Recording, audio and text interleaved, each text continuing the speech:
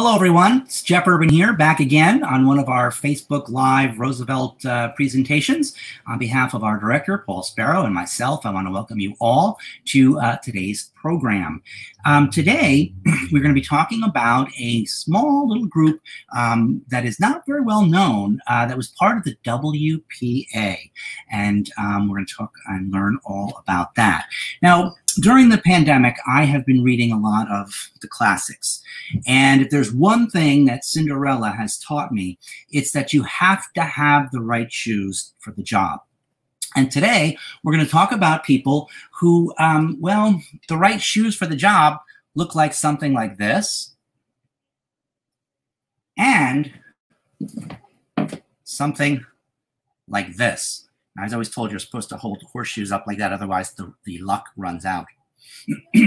so today we're going to learn about um, a group called the Pack Horse Librarians. And um, in order to understand that, we have to understand a little bit about the Great Depression. Now, I know many of you are Roosevelt fans, so you probably know a lot about that, but there might be folks that are just tuning in for the first time ever. So the Great Depression, of course, was a unprecedented time of hardship in the United States and around the world. People forget that it was not just an American uh, depression, it was a worldwide economic depression. Unemployment here in the United States had reached, on average, 25% people out of work. Another 25% could only find part time work. It was as high as 60% in some cases, in some places, in some industries. There were farm failures of about a thousand a month at the peak of the farm failure problem. There were bank failures uh, at the peak of about a thousand a month of uh, bank failures, also at the peak of the, the bank crisis. Factories were closed, people were losing their houses, people were losing um, their jobs, people were losing, most of all, their hope and their belief that things could get better. And one of the hardest hit areas of the country was the Appalachian uh, area um, uh, of the United States. Now, some people say Appalachian, some people say Appalachian. Um, I say Appalachian. So um, if you have a problem uh, with me saying it that way, then just you know write in the comments that I should say it the other way. Now, the uh, Appalachian uh, country was traditionally poor to begin with, and uh, conditions during the uh, during the economic uh, downturn of the Great Depression made things even worse. Um, many of these people were dirt farmers or they were coal miners, and um, the need for uh, dirt and the need for coal uh, went down quite a bit during the, um, the, Great Depression, of course, because the factories weren't um, you know operating, so they didn't need uh, quite as much coal. And while much of the country was suffering from 25% unemployment, the folks in this area of the country were suffering from 40% um, unemployment. And um, these folks had been barely making it to begin with, and you know the whammy of the of the Great Depression really hit them hard. So Roosevelt's New Deal programs um, promised relief uh, especially in the form of jobs, right? Uh, because a job not only gives you a paycheck, so you've got some money that you can now spend to, you know, take care of your needs and also help to uh, stimulate the economy, but a job also gives you a purpose. It gives you a reason to get up in the morning. It gives you a sense of accomplishment uh, at the end of the day. And um, one of the most uh, important programs, really, of the uh, the New Deal was uh, the famous WPA, right? The Works Progress Administration. And the Works Progress Administration is known, um, you know, wide and far for its construction projects you know, it built many, many um, hundreds and, and, thousands, really, of bridges and roadways and, uh, you know, miles of sewer pipe and water pipe and parks and airports and seaports and all manner of, of infrastructure that the country uh, needed. In fact, 50% of the infrastructure in the country was created during uh, the Great Depression and largely by the WPA. Um, when the WPA uh, ran out of uh, folks that were, you know, looking for construction jobs or folks that had talent talents or interests in other areas, uh, they created Federal One, right? Um, hiring artists. Uh, painters, musicians, actors, writers to um, produce works uh, for the uh, for the country, for the community, and they got paid uh, doing that as well. So most people know about the WPA uh, big construction projects, and a lot of people know about the Federal One projects, but very few people know about a little program called the Pack Horse Librarians. And that's what we're going to talk about um, today. Now, the Pack Horse Librarians was a group of nearly a thousand women who delivered books and Bibles and other reading materials to an estimated 1.5 million people living primarily in the southeastern corner uh, of Kentucky between 1935 and 1943.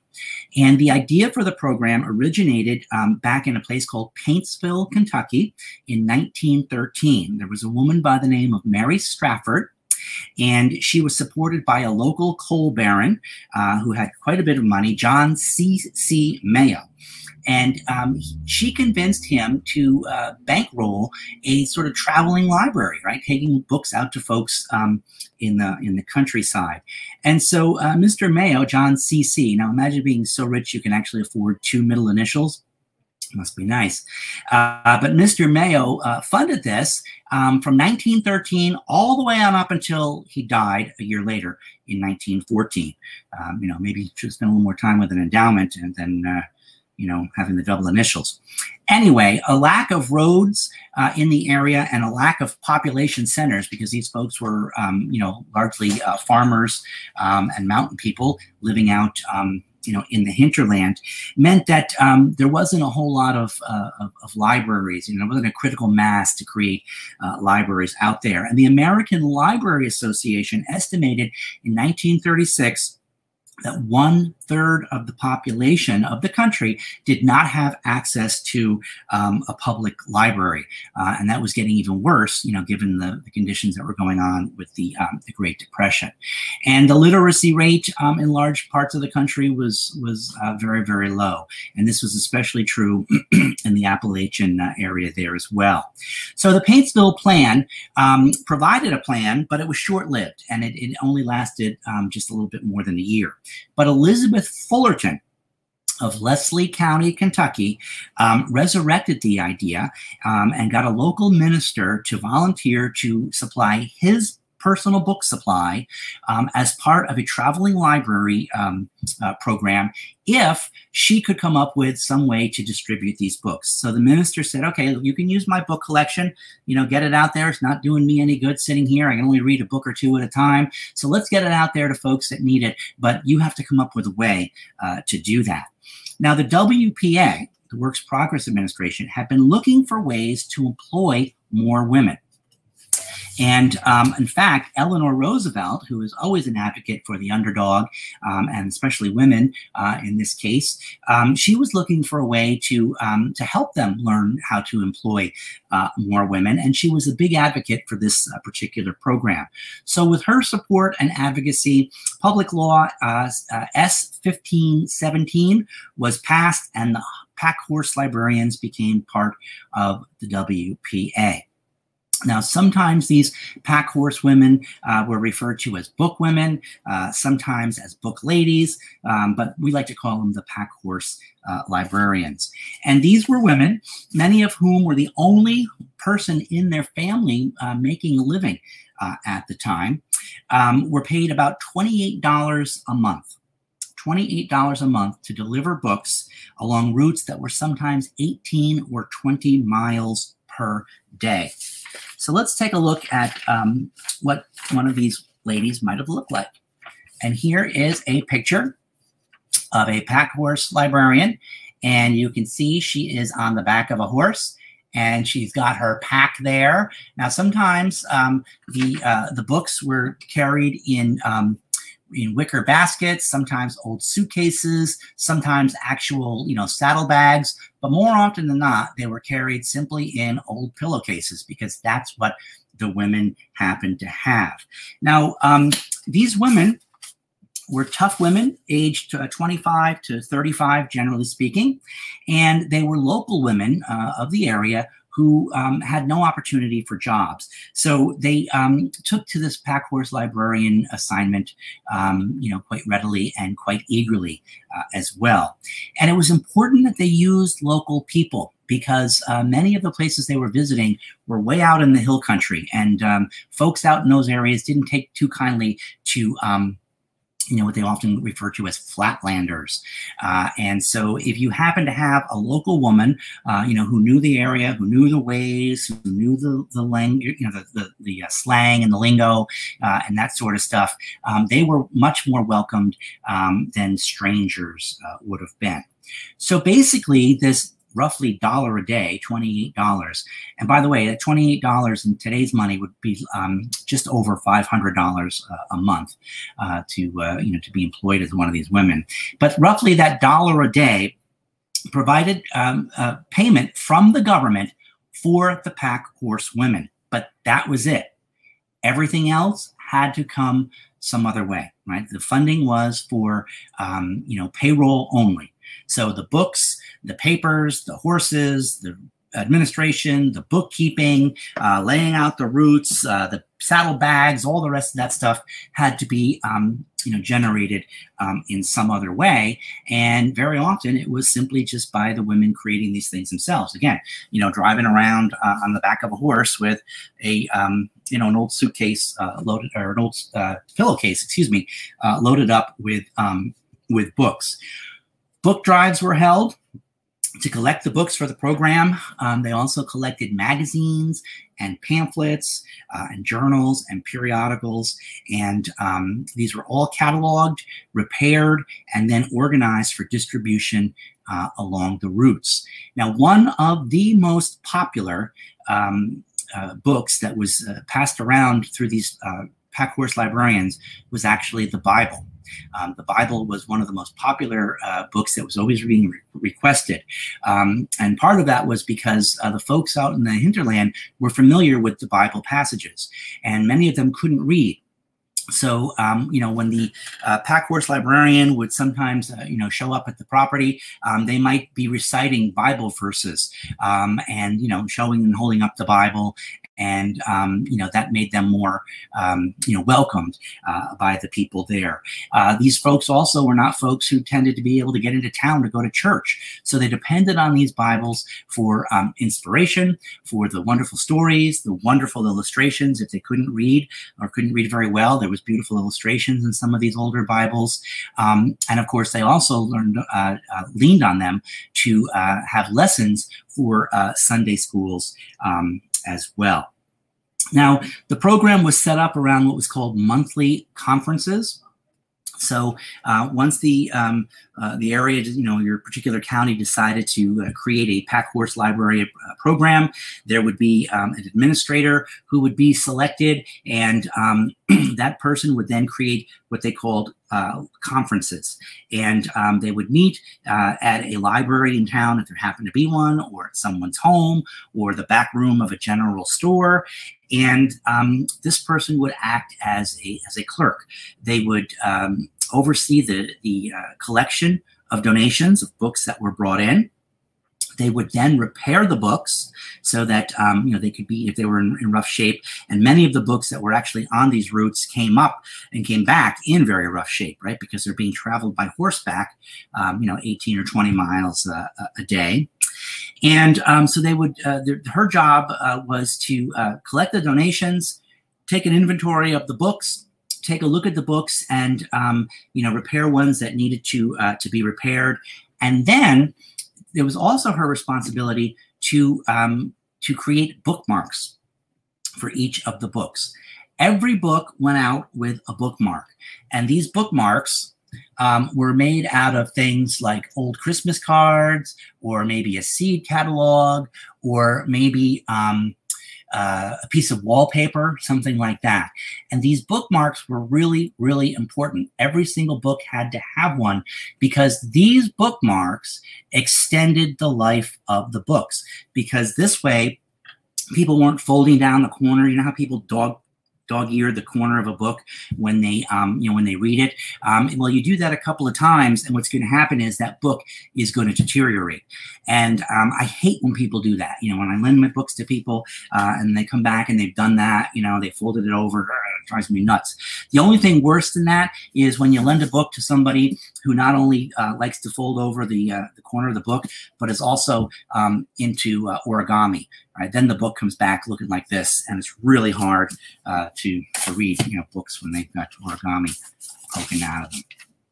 The clerks use scrap paper um, and um, empty cheese boxes. So this was their card catalog. It would be nothing more than an empty cheese box.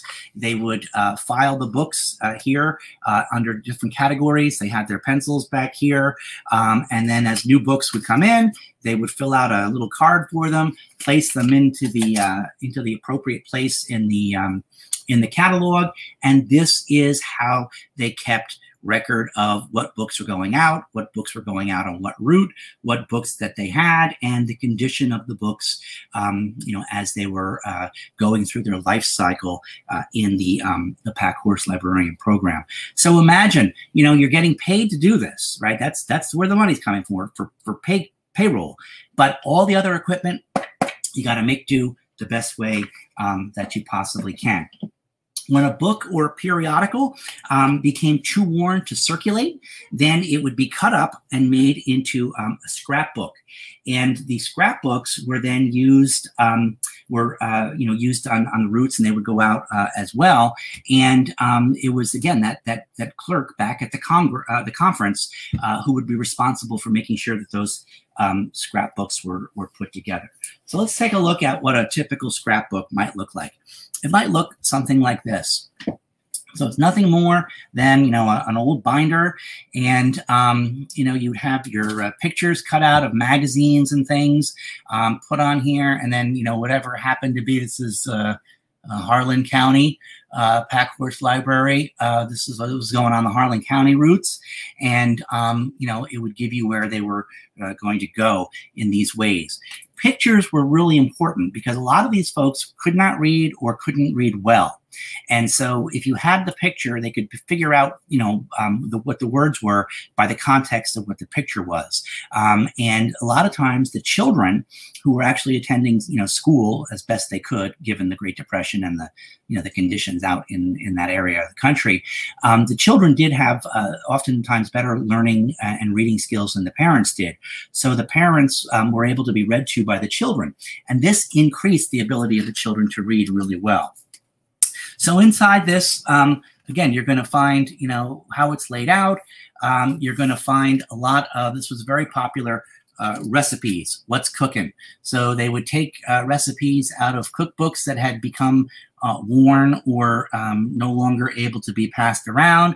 They would cut out uh, the parts that still worked, and then they would also, um, you know, type up other uh, recipes and things along the way. That was very, very popular because um, it gave people new ideas on what to do with what they had uh, out there. Also, very important were fashion. Uh, fashion. Now, of course, you know you're not going to be wearing outfits like this out in Appalachia, but it's kind of fun to look at people who are right. I mean, look how fancy these folks are. You know, look how fancy these folks are. So you know, fancy dresses and the kinds of things that city folks were wearing were also very important to the folks uh, out there in that part of the country. And sometimes they would even have, um, you know, rudimentary uh, designs and things for dresses and such uh, as well. And I love this. This is a little thing here. It says, use it up, wear it out, make it do or do without. Um, and that was a very popular saying back during the Great Depression. Um, whenever we visited my grandma's house as a kid, my grandma had this on her wall. Uh, use it up, wear it out, make it do or do it out because she had come from the Great Depression. So I, I took this um, from my grandma's house. My, my wife says I should have asked, but um, I don't think she's going to mind. So that was the that was the, the the, mantra, right? use it up, wear it out, make it do or do without. Um, if a magazine had become too worn, um, then what you would do is they would just cut those piece, pieces out and would put it in here uh, into the scrapbook as well. Um, so you've got magazine articles. Here's a nice picture, right? So even if you can't read, um, you can make up a story about this picture. And again, this is a great way to spur imagination. It's a great way to, um, you know, spur family time, right? Story time, that sort of stuff. And it's a great way to take your mind off how bad things are um, during uh, the Great Depression. So these are the kinds of things. I want to share with you two of my favorite recipes. Um, and again, sometimes people would write and draw little comics in there and stuff as, as well. Um, this has been working till the cow comes home. But let me share with you um, two of my favorite recipes. And um, I will show you these in just a second. The first one is for, and it's too bad we, you know, this is going on at two o'clock because you've already had lunch. You could have whipped this up. But the first is called baked groundhog. And what you do is you parboil your groundhog, hopefully fresh, um, until it's tender. Then you get spice wood switches and lay them under and over this groundhog, and you place it in the oven and bake. Okay, and then find yourself a book or something to read because you're not going to be able to take your mind off those delicious smells coming from that baked groundhog. Um, another one is um, uh, baked opossum. Okay, so if groundhog isn't your isn't your flavor, uh, opossum may be baked opossum. First, dress the opossum okay, uh, and stew until tender. Then place small twigs or limbs of spicewood in pan with opossum to flavor.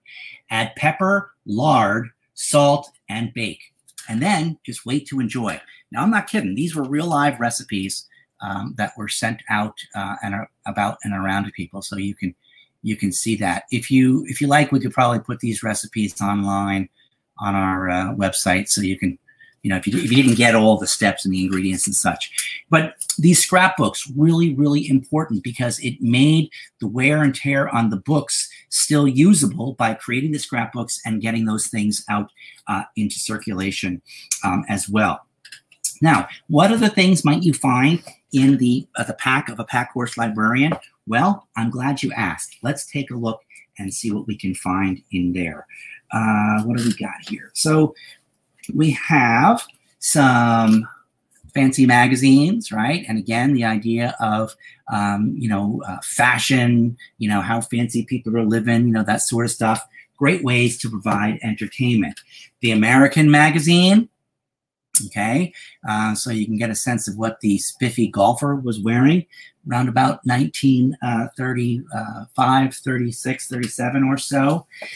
National Geographic magazine, Okay, these were very popular because the articles in here contained information that would never really go bad, right? So, um, you know, this could be circulating around for years. And if it's talking about the migration of this particular bird, that's not going to change from year to year, right? So um, this could be sent out on all the various routes over the course of, um, you know, the, the pack horse librarian area.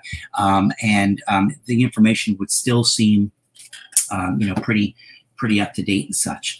Of course, the Bible, right? As we said, one of the most important books um, being passed around uh, out there, um, you know, for inspiration, for comfort, and also for um, the idea of, Sunday school lessons uh, as well. Also, um, very important uh, in the uh, circulation were uh, books that would appeal to children. So classics like Treasure Island, Right, nice colorful covers and nice easy reading once you get in uh, inside there. Um, you might find a spy in Williamsburg, right? So you can, you know, have a little mystery uh, going on there around the fireplace um, at night. Uh, the kids especially loved Robin Hood, right? You know, all his adventures, uh, stealing from the rich, giving to the poor, hmm, interesting idea during the Great Depression. Uh, and so what you got here is the old classic Robin Hood going on there as well. You also would find um, things like uh, Hansel and Gretel. Right, a good old-fashioned classic um, that you know the kids would love to to hear about. And again, it tells you the you know the story, the moral of you know not trusting outsiders. Right, that witch. Uh, you also might find books that were useful uh, for you on the farm. You know, how to maintain your kerosene uh, lamps uh, if you happen to have kerosene lamps out there on the farm uh, as well. And then, of course, you know, other classics like uh, Alice in Wonderland um, as well. So at the monthly conferences, these donations were cataloged, uh, put in uh, in order, and um, the books were repaired, the bookmarks were assigned, and then the ladies were given their assignments uh, to head out uh, along the way. And here is a group of women who are heading out up a dried stream bed. Now, the way this worked, ladies and gentlemen, is that these women were going out and they were delivering these books, these reading materials, way out in the hinterland. There were no interstate highways at the time. There were no even state highways, uh, generally speaking. And if there were, they generally tended to be uh, dirt roadways, um, you know, not the, you know, the pavement kind of roadways that we have today. So what we have here is a group of women who are working their way um, up a creek and when they get to a certain point, they'll peel off and they'll each take a different route uh, to a different group uh, of people up there along the way. These women used dried creek beds, or in this case, um, there's still some water in there, uh, to travel. Um, they would use um, animal paths. So if there were paths through the woods, or through the fields where you know uh, deer or you know foxes or those kind of animals um, you know had tended to make paths. It was easier for a horse to get through that way. They would use that. Very often they would just uh, travel along fence lines um, you know and uh, and move from place to place um, that way um, as well. The, uh, the routes were laid out uh, at the conference, and um, great care was taken to make sure that um, the books that people were requesting were put onto those uh, particular routes. And this way, they were able to get a larger circulation uh, of the books because um, what you could do is you would have certain books that would go out on one route and then you would bring them in and you transfer them over to another route and that way um, you know the folks were getting a constant supply of uh, changing horses um, and such. Here is this is one of my favorite pictures. This is a woman who is delivering her materials not on horseback but on foot. Okay on foot and you can see here, she's traveling along a fence line, right? A sort of a roadway along a fence line. She happens to have an old briefcase full of books in, uh, you know, a satchel around her here. And she also has got uh, newspapers and books stacked up over here in her uh, arm as well. And that's how she's going out to give her books uh, out on the route. The women, like this other woman here who used horses, these women would rent the horses from local farmers. Um, so you could rent a good horse for about 50 cents a week. And again, this was a situation where the money had to come out of this woman's paycheck because there was no uh, funding for for the bags, for the horses, for any of that stuff. So this woman would take her 50 cents and she would uh, rent this horse for a month from a, uh, for a week, sorry, for uh, from a local farmer. And she would go out on her routes that way. She was making, um, you know, the money because she had the job as the pack horse librarian. The folks were getting the books out in the hinterland and um, the local farmer was making um, some money uh, by renting out uh, his horse as well. Now, one of the things you might notice about these pictures is um, these women look pretty well dressed. All right, like you know, they're uh, she's got this nice collared outfit on here. She's got her her nice hat, you know, and she's looking pretty good. Um, same thing with this woman over here. Even though she's out walking, she's got her nice hat on here, and she's got her nice shoes and her nice dress. That's not usually the way they looked. Um, there was a uh, an effort made to document what these women were doing, and so they got a photographer out there, and they let the women know, hey, next Tuesday we're gonna photograph you guys, you know, um, just to sort of do a couple stories about you. And so the women were like, oh, well, I'm going to get all spiffed up. So they wore their best stuff that particular day. So that's why they happened to be looking so good. Um, in those uh, in those photographs. Sometimes they had uh, what were called penny drives, and this the, was a form of a fundraiser, um, so that if they weren't getting enough collections of books, um, they would uh, collect these pennies, and then they were able to buy uh, books um, and supplies like you know pencils and, and things for the you know the uh, the uh, card catalog um, and index cards and those sorts of things, um, they were able to buy those with some of the money that they made through these um, these penny uh, donations.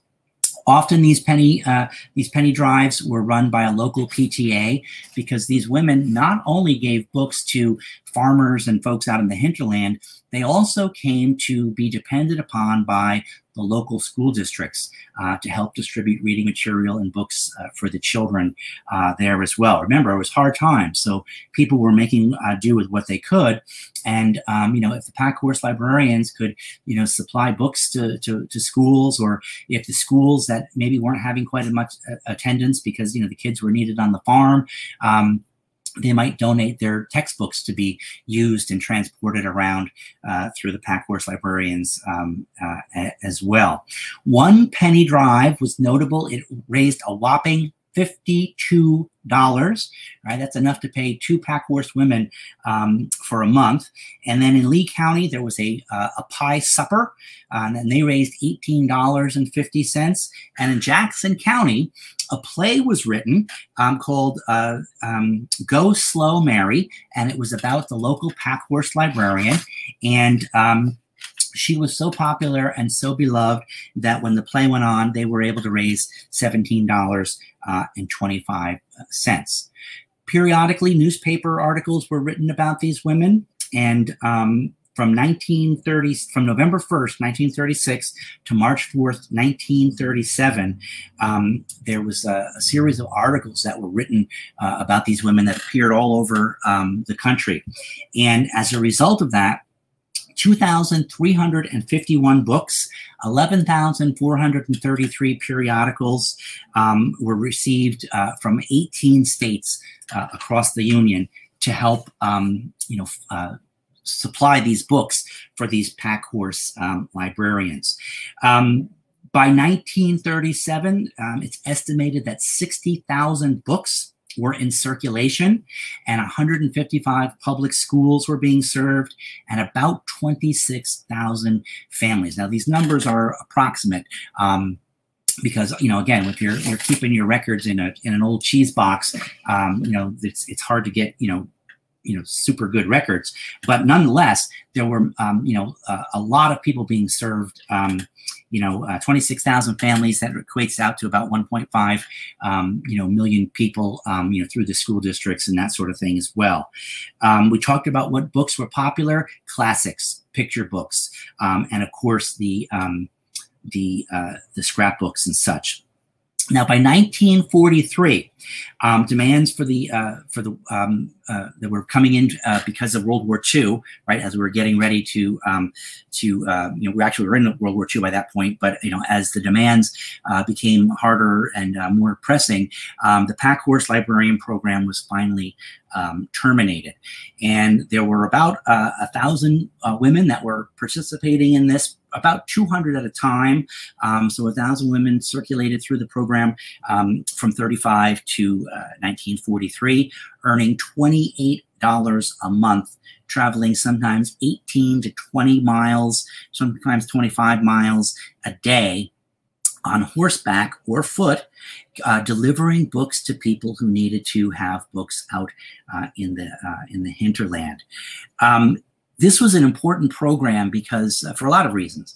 Number one is it gave women a job, right? And women, um, you know, as as so often is the case, uh, tended to be forgotten um, when it came time for these WPA jobs and that sort of thing. So this was a wonderful opportunity to bring in an underserved and an underused uh, cohort of people, women, to give them jobs to help support their families uh, during the Great Depression. The Packhorse Librarian Program also promoted literacy. And Franklin Roosevelt believed this was very, very important. How can you find a job if you can't find a job, if you can't read a, a job uh, announcement or can't fill out a job application. So the ability to have these programs that allowed people to have access to reading materials and improve their reading skills and improve their literacy, um, Roosevelt believed was an important thing um, to help uh, end poverty and help end, um, you know, uh, the Great Depression. Um, it made finding a job easier. It made keeping a job easier. These Packhorse librarians also promoted a sense of community. And this was really important because you're using these local women to go out to these areas to bring these books, letting these folks know out there in the hinterland they weren't forgotten, that the world was still going on, um, that there were interesting things going on in the world, and that there were people who were interested. The federal government by paying these women's salaries, and people in the um, you know the villages and towns um, who were collecting these books, repairing the books, making the, the bookmarks, and sending these things out. So it gave people a sense of connection. Right. And I think this past year has certainly shown us how important um, that actually is.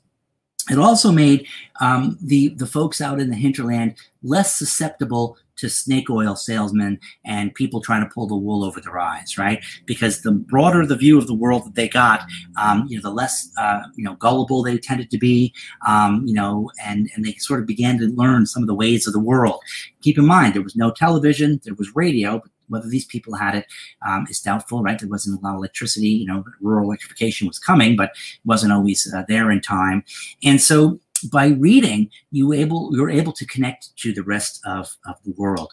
And Roosevelt also believed the ability to read, the ability to um, be exposed to ideas, the ability to see what was going on in the outside world, the ability to create critical thinking skills right? By reading something and saying, well, I don't know, you know, I read something else that said this and that, and then being able to make those decisions ultimately promoted democracy.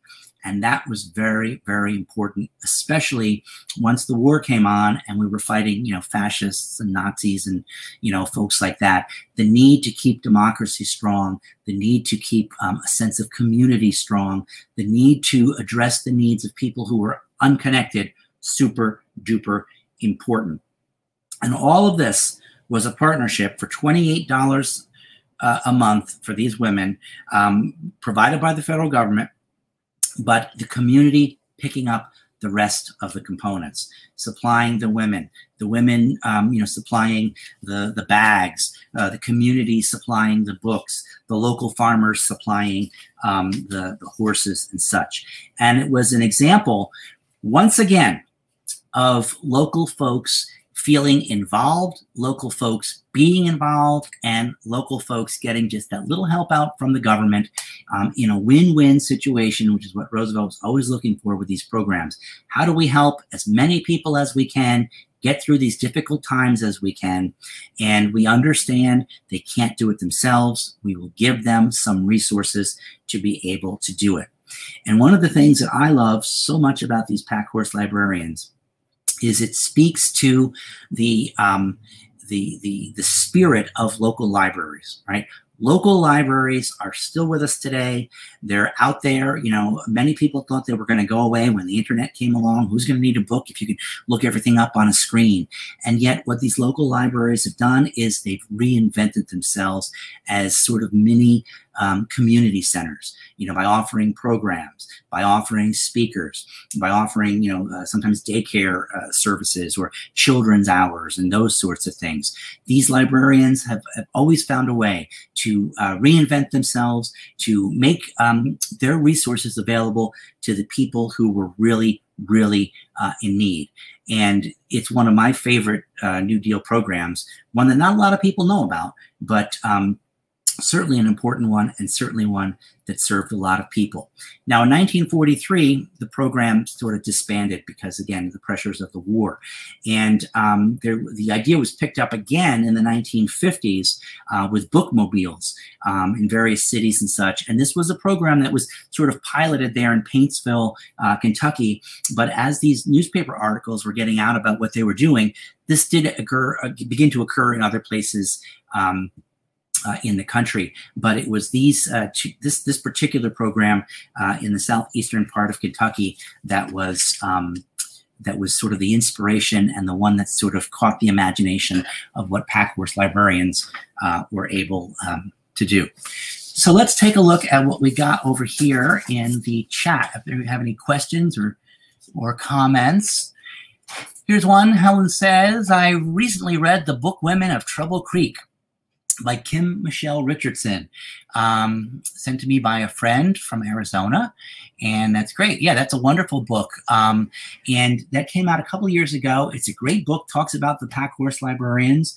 Um, and it's a wonderful way to get a sense of, um, you know, what was going on in that part of the, uh, in that part of the country. There was another book that came out about six months later called The Giver of Stars uh, by Jojo Moyes. Um, and that's another one that, that talks about um, the work of the, the pack horse librarians. Did some of the pack horse librarian programs continue operating through the use of local funds after the federal uh, program was discouraged? Sometimes you were able to find a rich benefactor that, that might be able to, you know, toss a couple pennies, um, you know, uh, your way and such. But by the time the war really started to um, you know demand uh, more and more attention uh, that's really where the focus was. The focus was then on um, you know making sure that everything went into the war effort. So you know many of the books many of the um, the uh, scrapbooks and things you know were converted into scrap paper uh, for the war effort and that sort of thing. So that sort of took the the focus um, you know, uh, at uh, at that point. Um, but was what was very interesting as a result of this pack horse librarian program is that when some of these, you know, these boys were drafted and had to go into the military, and they needed to learn how to be soldiers, and they needed to learn how to use equipment. They had the reading skills to be able to read the training man manuals to be able to do that, in part because of the ability uh, to read through the Pack Horse Librarian uh, program. Let's see. Okie dokie. Do, do, do. My grandmother had so many National Geographics in her house.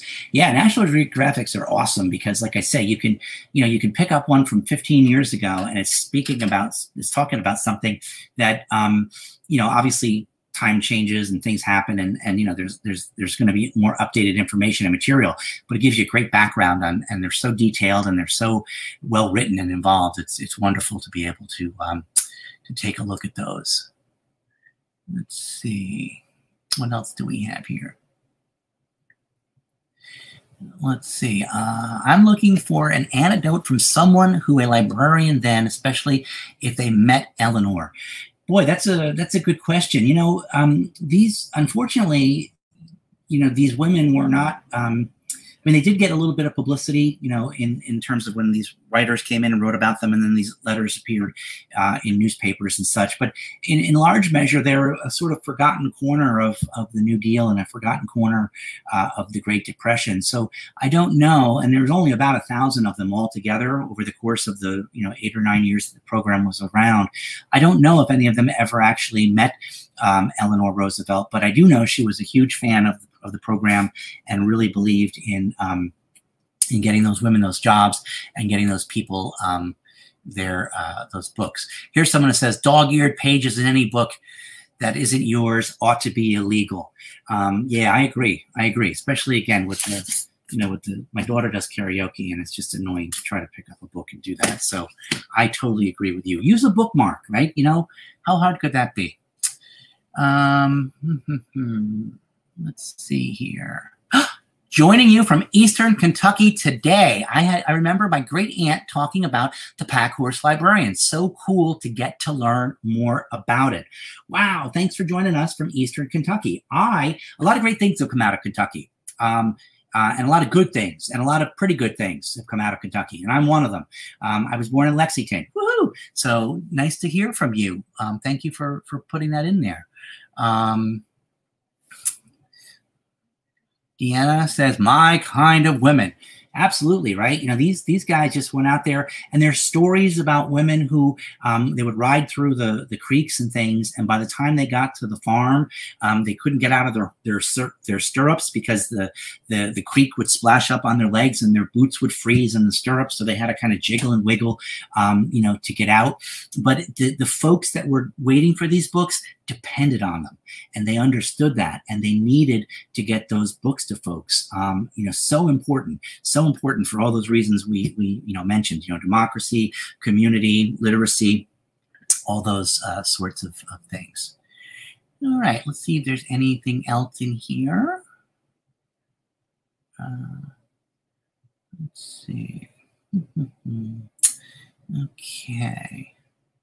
All right, that looks like about it for um, for the uh, the questions and such. So my advice to you would be this: you know, um, why don't you go visit your local library? Um, maybe it's been a while since you've been there, and you know, get in there and let them know that um, you appreciate what they're doing, and let them know that uh, you know that the work that they do, the ways that they find to reach folks out in the community, um, is really having an impact. You know, sometimes we don't, you know, hug our local librarian, and don't do it during the pandemic, but um, you know sometimes we don't you know hug our our local librarians enough and let them know that um, you know that, that, they're so important to us. They are the kind of things these little local libraries that you may walk by every single day and never think about it but you will if it goes away. Then you'll miss it so um, you know, keep that in, in mind as well. So that's all the time we have for today, and we will see you again uh, sometime soon. Um, it's been my pleasure to present uh, for you today about this really kind of cool little group of, of folks um, who did such an incredible service uh, during the, the uh, Great Depression. So we'll see you again sometime soon. Take care in the meantime and have fun and, um, you know, get your, get your local library. And no dog earring.